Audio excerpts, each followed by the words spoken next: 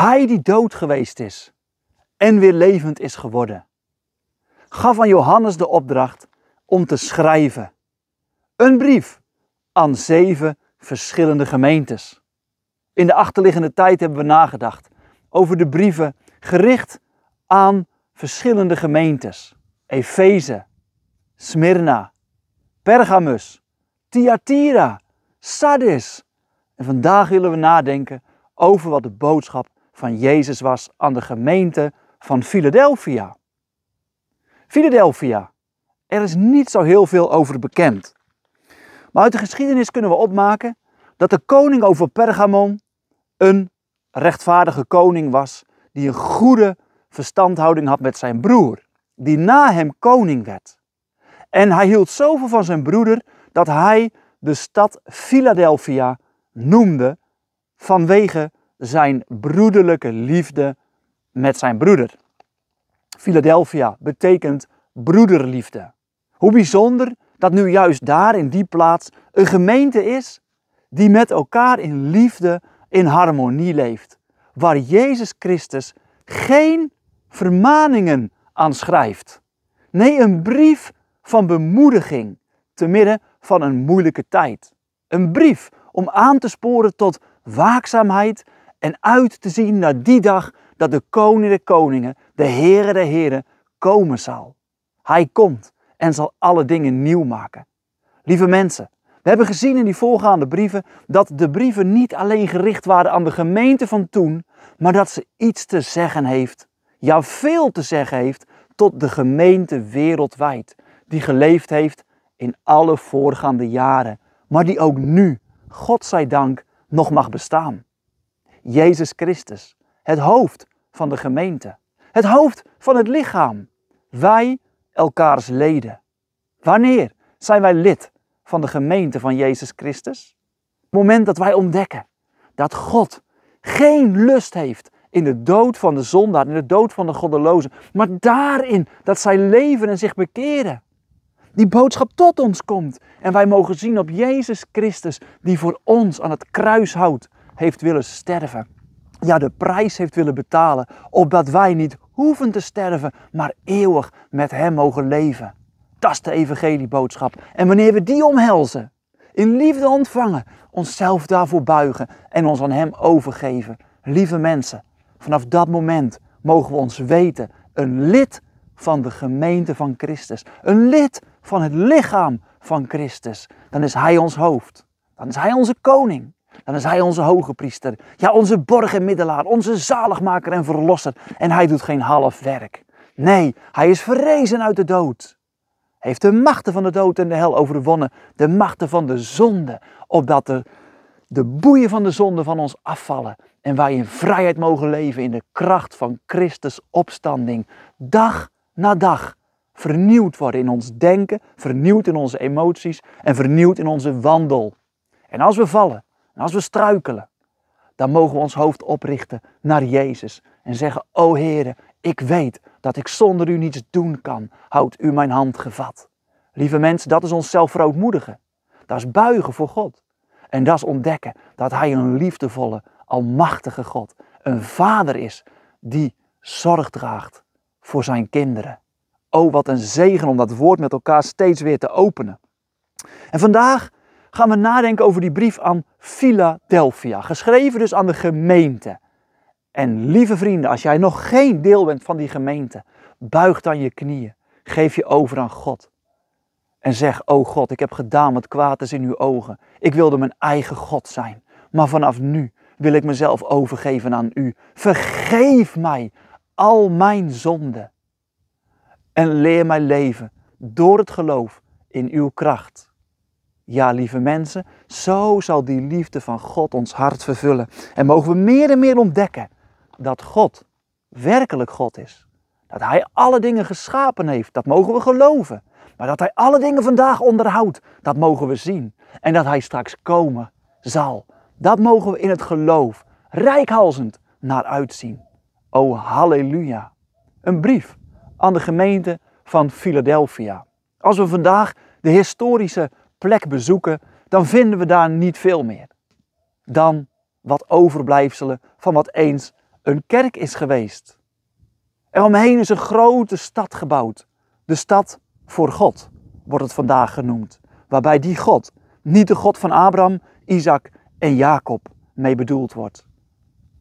En vanaf deze historische plaats willen we samen luisteren naar wat de Heer Jezus tot de gemeente van Philadelphia te zeggen heeft. We openen Openbaring, het derde hoofdstuk, en dan lezen we vanaf het zevende vers. En schrijf aan de engel der gemeente die in Philadelphia is. Dit zegt de heilige, de waarachtige, die de sleutel Davids heeft, die opent en niemand sluit. En hij sluit en niemand opent. Ik weet uw werken. Zie, ik heb een geopende deur voor u gegeven en niemand kan die sluiten. Want gij hebt kleine kracht. En gij hebt mijn woord bewaard en hebt mijn naam niet verlogend. Zie, ik geef u enige uit de synagoge des Satans. Degene die zeggen dat zij Joden zijn en zijn het niet, maar liegen. Zie, ik zal maken dat zij zullen komen en aanbidden voor uw voeten. En bekennen dat ik u lief heb. Omdat gij het woord mijner leidzaamheid bewaard hebt, zo zal ik ook u bewaren uit de uren de verzoeking die over de gehele wereld komen zal, om te verzoeken die op de aarde wonen. Zie, ik kom haastiglijk. Houd dat gij hebt, opdat niemand uw kroon nemen. Die overwint. Ik zal hem maken tot een pilaar in de tempel mijns Gods. En hij zal niet meer daaruit gaan. En ik zal op hem schrijven de naam mijns Gods en de naam de stad mijns Gods, namelijk des nieuw Jeruzalems, dat uit de hemel van mijn God afdaalt. En ook mijn nieuwe naam. Die oren heeft, die horen wat de geest tot de gemeente zegt. Laten we deze brief vers voor vers met elkaar behandelen. En schrijf aan de engel der gemeente die in Philadelphia is.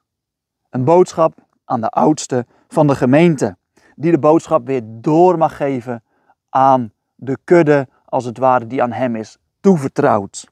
Dit zegt de Heilige. De Heilige. Oh, wat een bemoediging. Dit zegt de Heilige. Oh, laten we ons oor te luisteren leggen. Gemeente van Philadelphia. De Heere zelf, de Heilige, spreekt een woord tot u. Vandaag komt dit woord tot ons, de Heilige, Hij die apart gezet is, om als het lam voor onze zonde geslacht te worden. Hij is geslacht. Hij heeft het volbracht. Zijn bloed is gevloeid. En ieder die achter dat bloed schuilt, mag bij die heilige kudde horen. Eén in hem. Heilig is hij. Ja, de waarachtige. Al wat hij zegt is waar. Heeft hij zichzelf niet zo bekend gemaakt toen hij hier wandelde op de aarde? Ik ben de weg, de waarheid en het leven. Mensen, zoek niet langer naar de weg buiten mij, want iedere weg buiten mij zal onherroepelijk dood lopen. Ik ben de weg. Ja, ik ben de waarheid. Hem te kennen, lieve mensen, dat is alles. Want dan word je werkelijk vrij. De waarheid zal je vrijmaken. Indien de Zoon u zal hebben vrijgemaakt, zo zult gij werkelijk vrij zijn. Hij is de waarheid. En het leven. Buiten hem is geen leven. Het lijkt mogelijk op leven. Maar vanaf het moment dat wij in Adam hebben gezondigd, zijn we dood. Dood in zonde en misdaden. Totdat we in die tweede Adam, in de Heer Jezus Christus, een nieuwe schepping worden. En mogen leven. Dan mogen we het hoofd omhoog heffen, zonder angst. Omhoog zien, Vader in de hemel. Ik wil dat uw koninkrijk komen. O, dat uw wil geschieden in mijn leven. En dat uw koninkrijk gebouwd wordt door mijn leven. In een wereld die verloren gaat. O halleluja, hier spreekt de heilige, de waarachtige. Die de sleutel Davids heeft. Die opent en niemand sluit. En hij sluit en niemand opent. Het is bijzonder dat de Heer Jezus deze woorden spreekt. Hij refereert hier als het ware aan Eljakim, die we vinden onder koning Hiskia. Dezelfde woorden kunnen we vinden in Isaiah 22, vers 22. En deze Eliakim had als het ware de sleutel. Hij zorgde ervoor wie er wel of niet in de burcht binnenkwam. Bij het hof. Hij had de macht gekregen. En lieve mensen, zo heeft de Heer Jezus de sleutel. Hij laat toe, hij opent en hij sluit. Zo is hij ook degene die de profetieën van David tot volheid heeft gebracht. Hij heeft ze vervuld. De sleutel van David, de profetieën die zeiden dat hij komen zou, de Messias. En hij is gekomen. Oh halleluja. Lees Matthäus voor jezelf eens en ontdek hoe vaak daar staat opdat vervuld zou worden. Het woord is levend geworden, zoals Johannes het zegt. In het begin was het woord en het woord was bij God en het woord was God. En Johannes heeft dat woord aanschouwd, getast en geproefd en gesmaakt dat hij de weg, de waarheid en het leven is. Wat een bemoediging als we dit mogen horen van Hem die leeft van eeuwigheid tot eeuwigheid. Ja, bedenk ook wat David zelf zegt in Psalm 101. Misschien is het goed om dat even te openen. Psalm 101, vers 7 horen we David zeggen. Mijn ogen zullen zijn op de getrouwen in het land, dat zij bij mij zitten, die in een oprechte weg wandelt, die zal mij dienen. Wie bedrog pleegt, zal binnen mijn huis niet blijven. Wie leugen spreekt, zal voor mijn ogen niet bevestigd worden. Alle morgen zal ik alle goddelozen des lands verdelgen, om uit de stad des Heren alle werkers der ongerechtigheid uit te roeien. David opende en sloot. Eliakim opende en sloot. Jezus is degene die zijn koninkrijk bouwt. En hij opent en hij sluit. Luister wat we in het achtste vers lezen. Ik weet uw werken, Philadelphia. Ik ken jullie werken. En weet je wat zo bijzonder is? De Heer Jezus heeft geen enkel woord van berisping. Niet dat die eerste liefde is verlaten. Niet dat zij zich laten beïnvloeden door de Nicolaïten, door de Biliamsleer of door de Isabel. Nee. Ook niet dat ze de naam hebben dat ze leven, maar dat ze dood zijn. Nee, Philadelphia, ik weet uw werken. Zie, ik heb een geopende deur voor u gegeven. Jullie zijn getrouw geweest. zo mogen we zelf hier invullen. Jullie zijn getrouw geweest over datgene wat ik jullie heb toevertrouwd. Wel, gij goede en getrouwe dienstknecht. En dan, dan ga ik de deur voor jullie openen. Ik heb die deur geopend. Niemand kan die sluiten. Die deur van het evangelie. Jullie daar, zo'n kleine gemeenschap. Daar in Philadelphia. Met weinig kracht staat er, hè? want gij hebt weinig kracht. Maar Ondanks dat hebt gij mijn woord bewaard en hebt mijn naam niet verlogend. Oh, halleluja. Zij hebben het woord van de Heer Jezus bewaard in hun hart. Zij hebben erover nagedacht. Het is tot hen gekomen. Ze hebben het ontvangen in hun verstand. Ze hebben het toegestemd, in hun hart gesloten door het geloof. En ze hebben het bewaard. Ze hebben ervoor gestreden. Standvastig bleven ze staan op de rots van het behoud. Jezus Christus. En nou opent hij voor hem de deur. Ja, zij hebben de naam van Jezus niet verlogend. Ook niet te midden van alle tegenstand, van alle beschimping en alle bespotting. Dat zij die Jezus volgden, dweper, die leugenaar, die tovenaar, die afgodendienaar, zoals we ook in het Talmud lezen. Nee, zij stonden standvastig te midden van al die strijd. Al dat tegengas op het fundament Jezus Christus. Ja, ik geef jullie een geopende deur, Philadelphia. Hebt goede moed. Jullie, jullie aantal is maar klein. Maar blijf getrouw. Blijf getrouw getuigen van die hoop die in je is. En Hij zal doen wat voor ons onmogelijk is. Saai aan alle wateren. En gij zult uiteindelijk de vruchten zien. De oost zal binnengehaald worden. Ja, luister wat we verder lezen, lieve mensen. Zie, ik geef u enige uit de synagoge des Satans. Degene die zeggen dat zij Joden zijn en zijn het niet, maar liegen. Zie, ik zal maken dat zij zullen komen en aanbidden voor uw voeten en bekennen dat ik u lief heb. Wat een bemoediging voor deze mensen. Zij die zo lelijk doen tegen de gelovigen. Te midden van een wereld die vol afgoderij is. Is daar die Joodse gemeenschap. Zij die leven bij de Torah. Bij de Talmoedische overleveringen zou je kunnen zeggen. Bij de Fariseïsche leer van de schriftgeleerden. De Sadduceeën. En deze leer is voor hen verheven boven de Heer Jezus Christus. Ze zijn blind voor het evangelieboodschap. En in die blindheid zijn ze vijanden van God en vijanden van zijn gemeente. Oh, hoe moeilijk heeft Philadelphia het hier, zoals we ook lazen bij de andere gemeentes. Die tegenstanders, die Joden, die zeggen dat ze Joden zijn en zijn het niet. En hier lezen we het opnieuw. Ze zijn het niet. Waarom niet? Ze zijn niet besneden van hart. Ze zijn besneden uitwendig. Ze hebben de voorhuid besneden. En ze beroemen zich dat zij Joden zijn. Maar ach, het zijn de vijanden van het evangelie. Maar hebt goede moed. Denk aan een Saulus. Hoe hij de gemeente heeft vervolgd. Oh, hij haatte ze met een dodelijke haat. En hij wilde zijn leven er wel voor geven om die secte van de Nazareeën uit te roeien. Maar hij werd gegrepen door God zelf. Ja, door Jezus Christus zelf op de weg naar Damascus. Sal, Sal, wat vervolgt gij mij? Wat vervolgt gij mij? En zo, lieve mensen, is het met deze Joden. Ze vervolgen Jezus.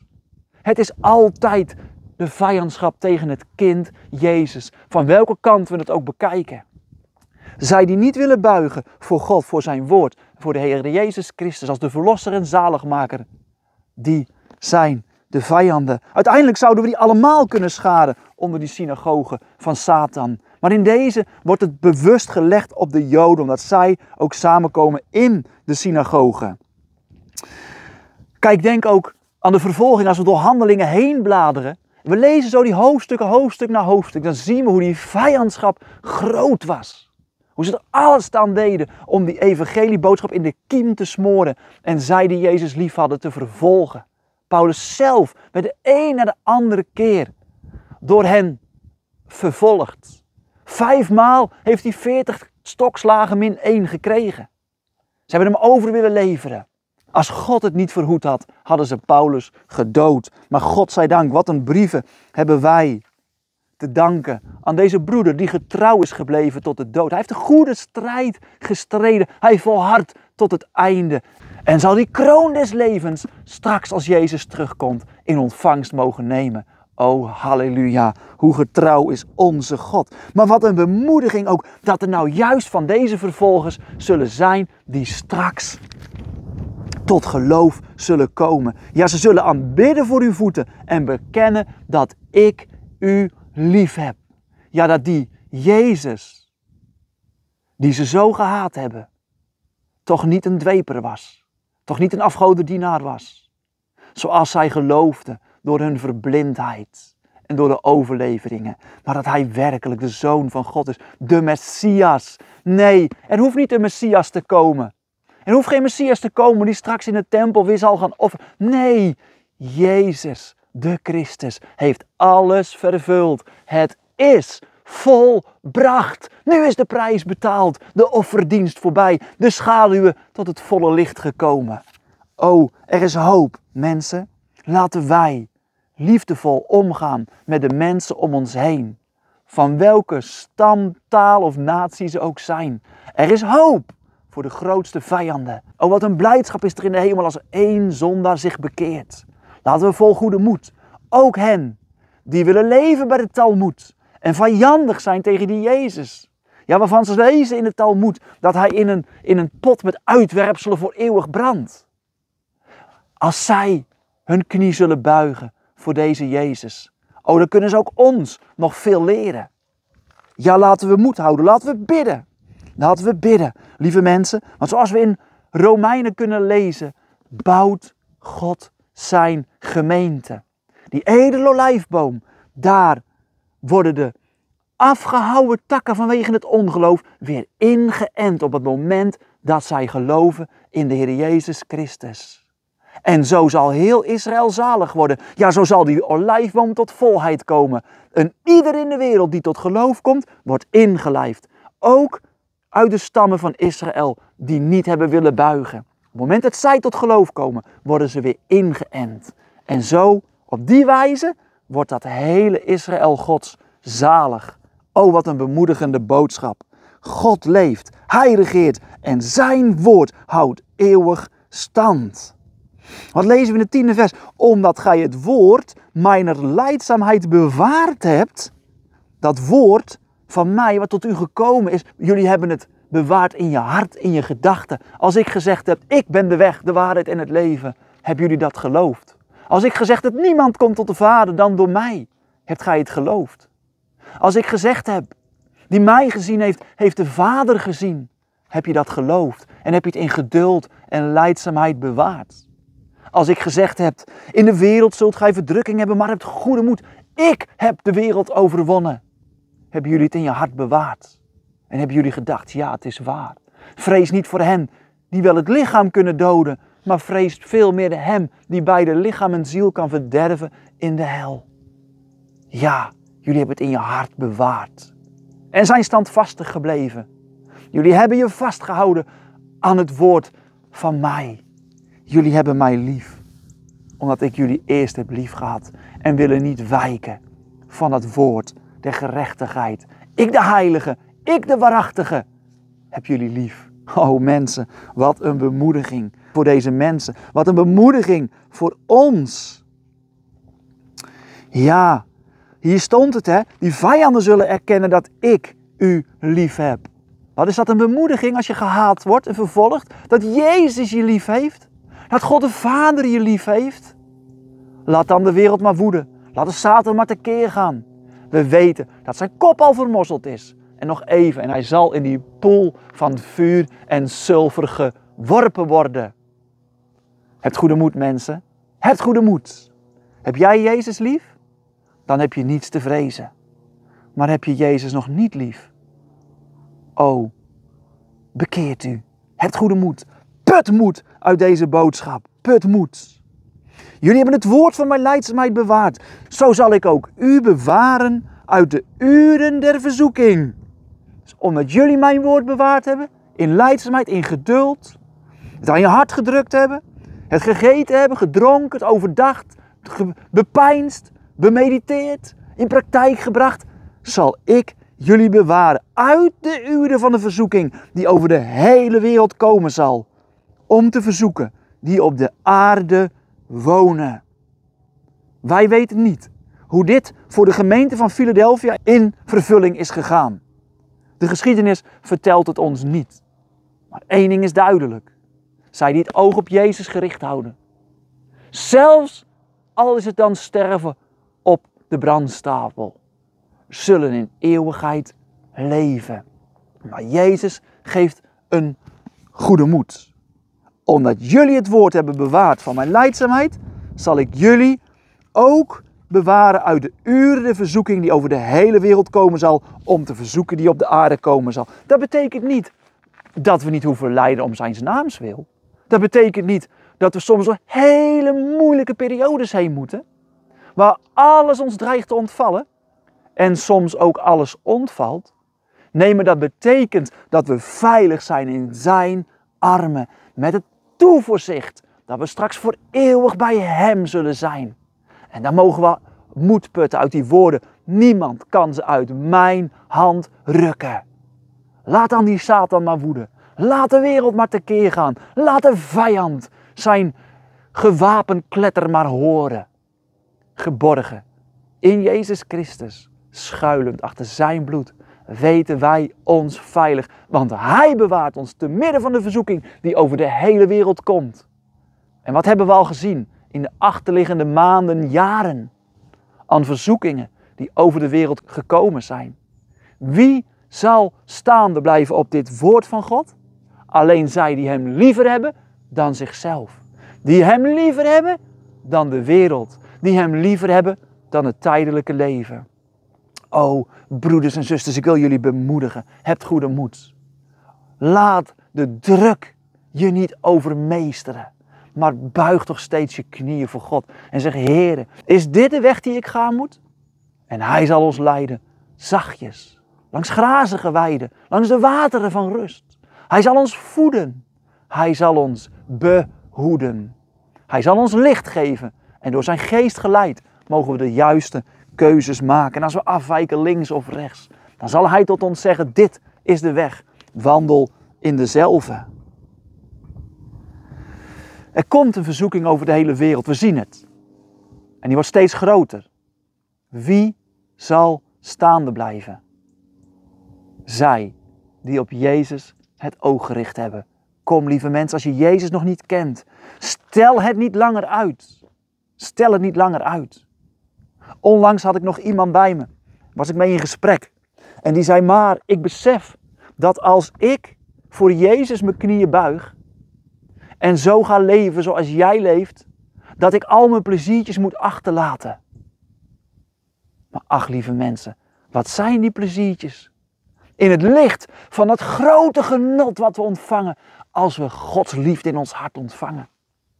Er is niets wat dat kan overstijgen. Laat de wereld tekeer gaan met al hun feesten, al hun pret en al hun surrogaat.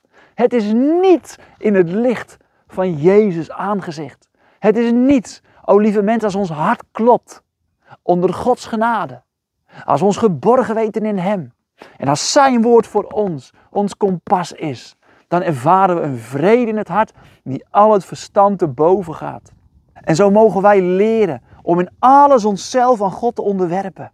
En meer en meer toe te nemen in dat geloof, in dat vertrouwen en in die kracht van Christus opstanding.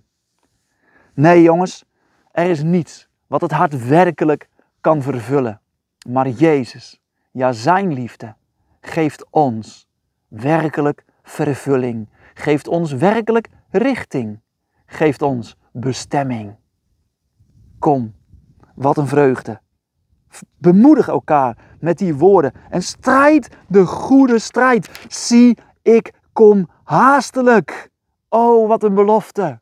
De gemeente ziet uit. De bruid roept: Kom, Heer Jezus, ja, kom spoedig. O, kom, kom in uw heerlijkheid, in uw macht, in uw majesteit, in uw glorie. O, kom, koning der koningen, Heer der heren. We zien er naar uit dat gerechtigheid zal overwinnen. Ja, ik kom haastelijk. Nog even volhouden. Houd dat gij hebt, opdat niemand uw kroon nemen. Zie je dat? Die kroon is beloofd. Die kroon des levens, die straks en ieder zal ontvangen die het oog op Jezus heeft gericht en die volhard heeft tot het einde. Waarom? Omdat Hij ons volging, omdat Hij ons lief heeft, omdat Hij ons die kracht geeft om te volharden. Niets in ons, maar alles in Hem. Zie, ik kom haastig. Nog even geduld, gemeente. Nog even. Houd dat gij hebt, opdat niet iemand die kroon bij je wegneemt. Laat je niet misleiden. Oh, als ze je najoelen en als ze roepen dat je die dweper van Nazareth volgt, zeg dan, nee, hij is mijn verlosser, hij is mijn heiland en hij heeft mij zo lief gehad dat hij zijn leven voor mij heeft gegeven. Zie op hem en weet dat zijn bloed ook jou reinigt van al je zonden als je voor hem buigt. En zo zullen ze komen en zullen ze voor je buigen, staat er. Hebben we net gelezen dat uit die synagoge van Satan zullen ze komen en aanbidden voor uw voeten en bekennen dat ik u lief heb. Lieve mensen, het antwoord van ons op alle haat is de liefde van God. En die liefde van God, die is onuitputtelijk. Wat een evangelieboodschap heeft God ons gegeven. Wat een volheid. Wat een hoop en een moed moet dat ons geven. Vandaag gaat die boodschap nog uit. Die velden zijn wit om te oosten. Maar waar zijn die arbeiders? Zie, gemeente van Philadelphia. Ik heb jullie een geopende deur gegeven. God heeft ze als het ware geobserveerd. En hij heeft gezien Dat ze getrouw waren. Dat ze niet meegingen in van alles en nog wat. Dat ze zich niet lieten beïnvloeden door de Nicolaïten. Niet door de Biliams leer. Niet door de leer van de Izebels. Nee, getrouw waren ze. En God gaf een geopende deur. Zo wil hij vandaag een geopende deur geven aan hen die getrouw zijn. Nee, niet een deur die we zelf openen, die we zelf forceren en zelf de straten als het ware opgaan en in de naam van Jezus duivel uitwerpen, wonderen doen, om dan straks te horen: Ik heb u nooit gekend, gaat weg van mij, gij werkers der wetteloosheid Werkers der ongerechtigheid. Jullie die met mijn wet niet te maken wilden hebben. Jullie lieten je beïnvloeden door de Nicolaïten. En door de Biliams. Jullie zijn afgeweken van mijn heilige woord. Van Genesis tot openbaring. Ach mensen, het is vandaag niet anders. Oh, laten we ons bekeren en ons buigen voor Hem. En laten we onszelf onderzoeken. Oh, wat een bemoedigend woord komt er hier tot de gemeente van Philadelphia en vandaag tot ons, die overwint. Die overwint. Zie je, kom haastiglijk. Het goede moed. Strijd de goede strijd. En als je dan overwint, ik zal hem maken tot een pilaar in de tempel mijns Gods. Een pilaar. Dat betekent zonder hem stort het in. Zonder die pilaar. En zonder die pilaar is het minder sierlijk. Want hoe mooi zijn die pilaren? Vaak verfraaid met woorden daarop geschreven. Met allerlei afbeeldingen daarin. Een pilaar zullen we zijn in die tempel van mijn God, als wij volharden. En hij zal niet meer daaruit gaan. Nee, hij zal daar blijven. En ik zal op hem schrijven de naam mijn Gods en de naam der stad mijn Gods Welke stad? Namelijk het nieuwe Jeruzalem dat uit de hemel van mijn God afdaalt. Wat een versiering, wat een eer, wat een belofte. Ja, staat er ook mijn nieuwe naam. Wat is die nieuwe naam? We weten het niet. We weten wel dat Jezus zich verderop in Openbaring 19 bekend maakt. Dat zijn naam is Koning der Koningen, Here der Heren. Wat een eer, wat een belofte, wat een genade. Want wie van ons heeft het verdiend? Niemand. Uit genade zijn we zalig geworden.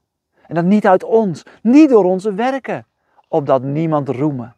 Want die roemt, die roemen in de Heere. Hij kwam vanuit de hemel, omdat hij zag dat er niemand was die God zocht. Niemand was die naar hem vroeg. En hij gaf zijn leven hij kwam tot de zijnen, maar de zijnen hebben hem niet aangenomen. Weg met deze, kruist hem, kruist hem. En zo ging hij de dood in, om voor vijanden het leven te bereiden. Nog klinkt die bazuin van het evangelie. Nog horen we de oproep, kom tot mij, die vermoeid en belast zijt en ik zal u rust geven. En als we dan zo vermoeid en belast voor hem buigen, we mogen onszelf geel aan hem overgeven en zeggen, oh God, vergeef mij al mijn zonden dan worden we uit genade zalig. En dan krijgen we ook nog zijn naam geschreven. Oh, hoe wonderlijk is onze God.